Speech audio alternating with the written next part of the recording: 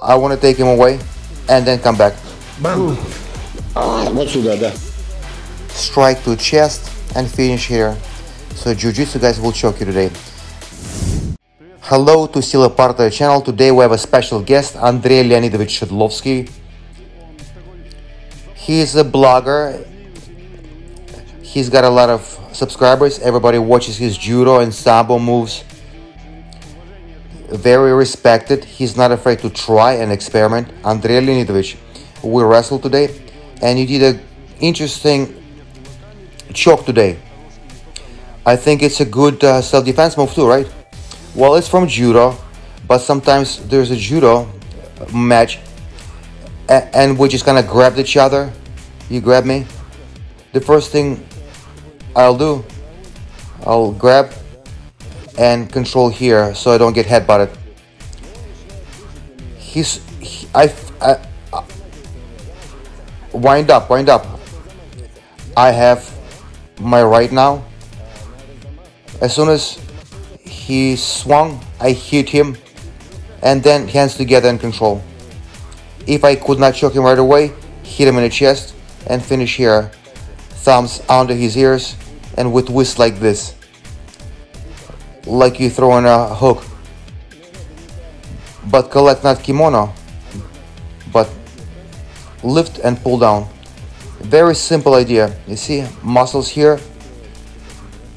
I want to take him away, take him away, and then come back. So my goal, move them and then come back. Like this. You see voice changes, it means it's effective. Как только голос меняется, вот значит пошел процесс. So it's one of the tests. I try to push here, should be here, but if you hit somebody lower, you'll choke him faster because I will lean and arms will fall where they're supposed to fall. Yeah, right here. Simple thing, very effective. So let's do it in guard. If he's on his back, of course I will not do that because my arms are exposed. I will lose immediately. But if he comes up, then I push him, pull him towards me, and do not let him fall on his back. Try to go on his back. And I control. So he pulls his neck, and with his shoulders, we finish. If he's on his butt. If he's on his back, we will not be able to do that. I showed him and lifted him, and here, now I can choke. And of course, use your head.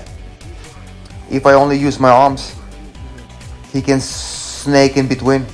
So, so we don't let him do that. And use the head like this. If you apply pressure on his nose, it's good. Because he starts thinking about pressure and pain. It's not hurting, but like, like this, and I lift his chin, even easier to choke yet. Can you do it from your guard? I need to fake. If I just like do like this, it's not gonna happen. I need to show some kind of move. And when I don't let him go up, I use knee against ribs and and hold him with legs and arms.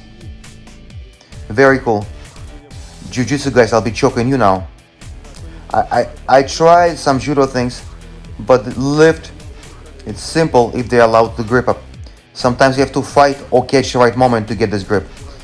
I usually do other grips and maybe they'll let me, because I don't know how to strangle. If people don't know how to strangle, it's so easy, especially in the street, trust me. People usually wear some kind of clothing as a self-defense move, as a cool move. Guys, don't forget to subscribe to Andrei Leonidovich Shedlovsky channel. Support him, watch his video. He's got so many videos, throws, chokes, turnovers. So subscribe and you'll be winning. Thank you. Если он вдруг идет, поднимается ко мне, поднимается, то я его прижимаю к себе и уже не даю опуститься э, на спину. Он сейчас хотел бы на спину может упасть, да? Да, не- а я контролирую. Как раз он надав- на- на- натягивает шею, и мы включаем вот этот вариант. ручки сводим. И, э, это в том случае, если у него точка опоры вот эта.